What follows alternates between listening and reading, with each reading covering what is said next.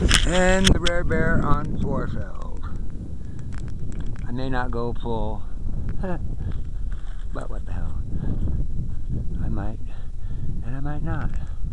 I'm gonna need some up trim that's heavier in the nose.